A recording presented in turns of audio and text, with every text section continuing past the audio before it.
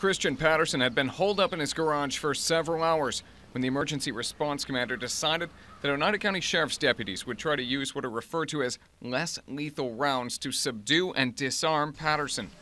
Deputy Kurt Wyman had been told to be ready to taser Patterson if called upon. When officers fired the less lethal rounds into his chest, Patterson was knocked down but still held onto a shotgun.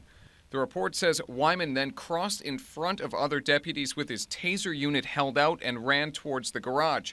The main negotiator yelled no at Wyman, but he continued going towards Patterson. Patterson then turned his shotgun towards Wyman and fired, hitting him in the neck. The report says the Oneida County Sheriff's Office needed better communication between the deputies at the scene. Even members that were aware of it were not sure what the specific plan was on what should happen when the less lethal rounds were fired. The report also says a poor chain of command and lack of training added to problems at the standoff. Bruised egos are secondary to ensuring the most effective, efficient, and safest response possible. Today, Oneida County Sheriff Rob Maciol thanked the local police chiefs who produced the independent report and said his department has added equipment and improved training for critical incidents.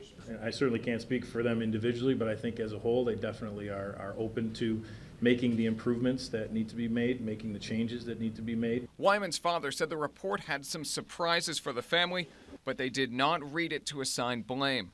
Brian Wyman said he hoped the lessons learned and recommendations from the report can help police departments locally and across the country. There's no, there's no changing, uh, there's no knowing uh, some of the things that were going through my son's uh, mind at the time, some of the decisions he made,